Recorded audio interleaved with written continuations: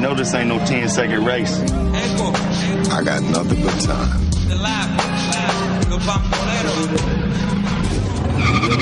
time.